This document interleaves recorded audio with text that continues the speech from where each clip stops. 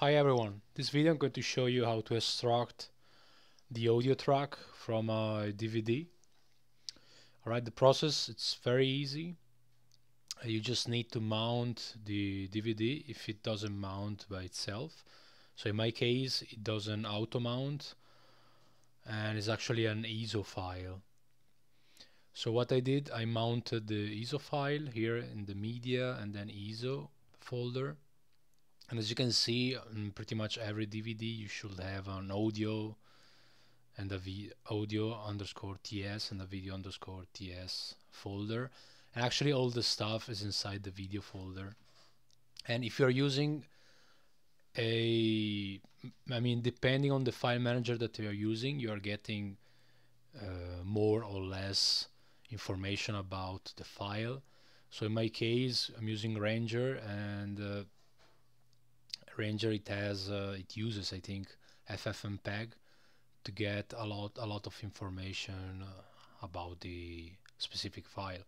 So in this case the most important thing uh, information that I get it's the audio part that's telling me what the codec is using it's been used. This AC3 codec from Dolby's proprietary codec. And then super important is telling me how many channels are there could be like 5.1 audio track you know. In my case it's just left and right you know so it's uh, stereo super normal two channels. This is very important because if you have for example a 5.1 uh, you, have, you have to think about if you want to you know if you want to extract a 5.1 audio or if you want to extract uh, stereo so just le left and right so it's up to you. In my case, it's perfect. I, I want a stereo track and here I have a stereo track. So for me, it's perfect. And also super important that I have the bitrate. Now this, by the way, it's a lossy format. So it's already compressed. It's not lossless. But anyway, it's very important to know so that I can extract the audio and maintain this bitrate, you know, so I don't compress the file uh, uh, further than it's already has been compressed. Alright, so let me move there to this folder, so media, ISO, video. Alright, so here as you can see there are many files. What you have to, what's interesting for you is these vob files.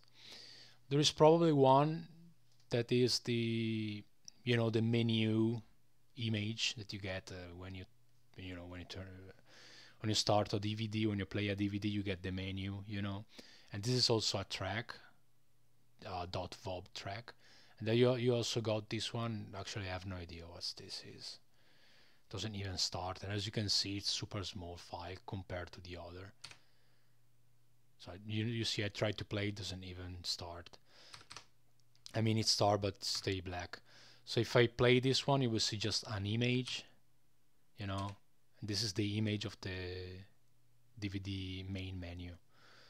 And this, by the way, it's Zeitgeist uh, Addendum, so the second one, it's a documentary.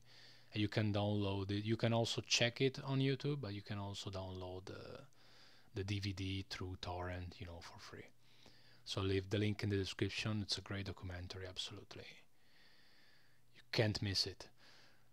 So one thing that you can do, you can play it, you can play the file, you can launch it, and as you can see, the the video is there, the audio is there, so this is are the correct files. Racial, sexual. What you want to do now is you want actually to use to basically you want to send to the standard uh, input. I mean, you want to send, you want to use what's inside this file, you know, and print them on your terminal, and then use this uh, the, this output as FFmpeg standard input. So I'm going to show you. Basically, you have to ls as I did before, and then what's interesting for you is these vob files. So you want to grep vob. So you get just the vob files. Now this I don't need this one but I'm just going to leave there. Probably it's not gonna be a problem you know. And then basically what you want to, to do if I do echo this command as you can see you have all the files one after the other. And this is perfect to be used uh, with cat so basically if I use cat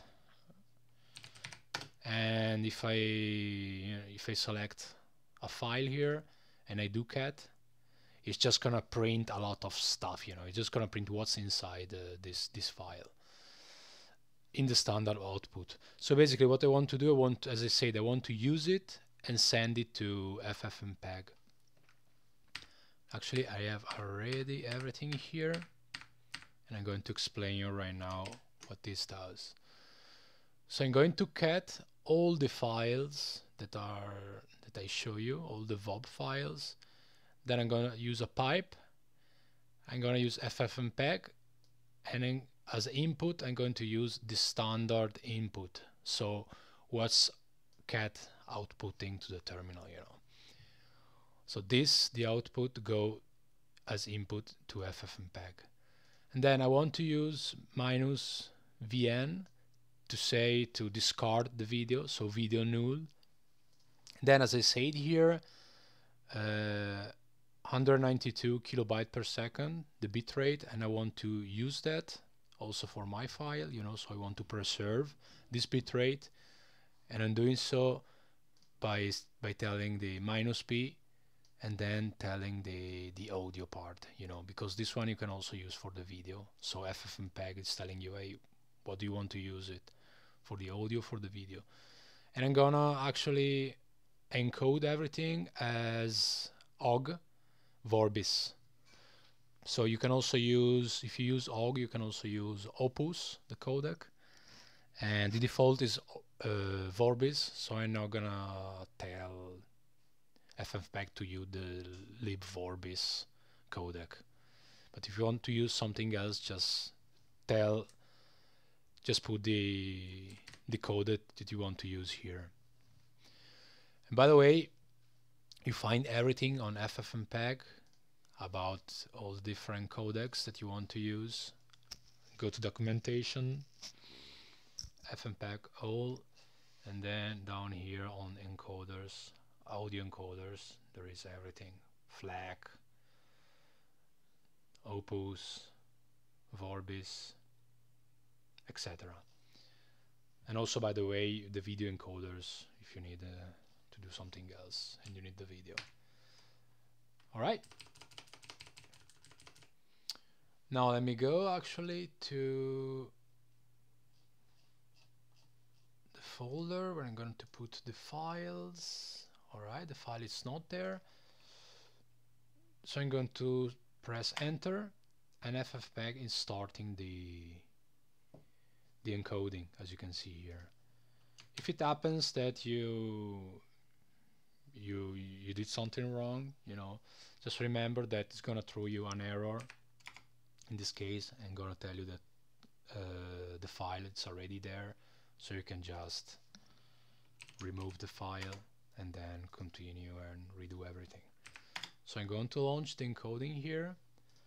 And I'm going to uh, actually uh, I'm going to show you another way to to show the information about uh, a file you know an audio or video file.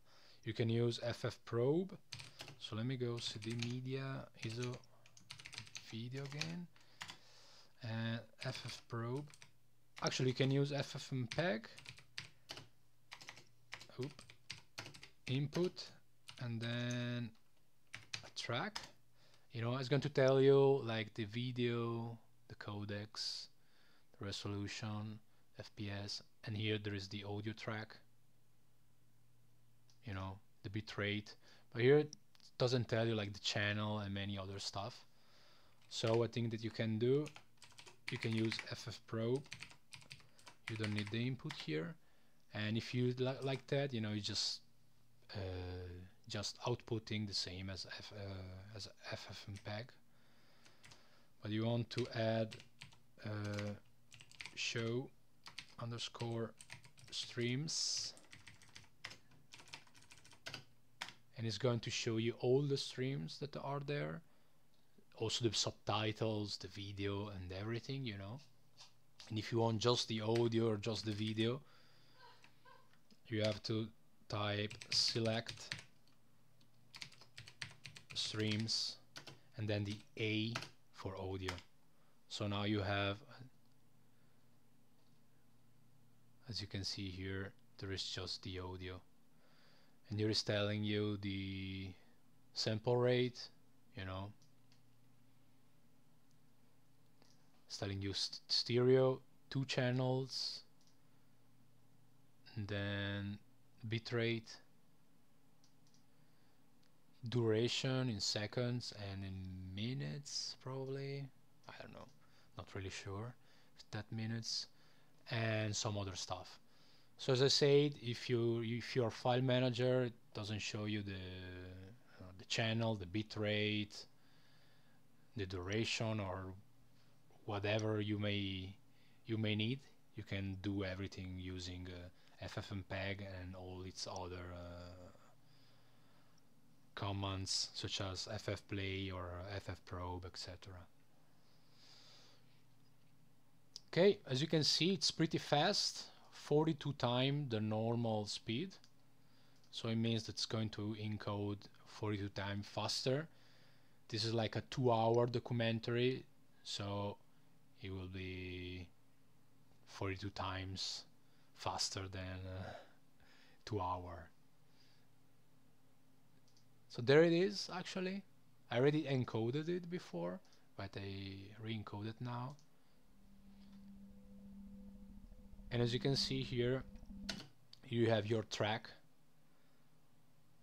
You maintain the the bit rate two channels 48,000 hertz or 48 kilohertz etc and it is now Vorbis you know so it's now uh, using a open source or a free uh, codec and here is the audio today is Aldi is now available as newly created money for more loans. And of course, that 8.1 can be loaned out and redeposited, creating an additional 7.2 billion, Yeah. that's how it works 6.5 billion to 5.9 billion, etc. all right that's it. If you need to extract an audio to extract an audio from a DVD or also Blu-ray maybe it works something like that I have no idea never tried. But more or less the process is like that you know. You can also you know use different output and send this as a standard input for FFmpeg I, I just did here. So you can play with it and see how it goes even for uh, other stuff that's not DVD alright hope it was helpful. I'll see you the next time guys. Bye bye stop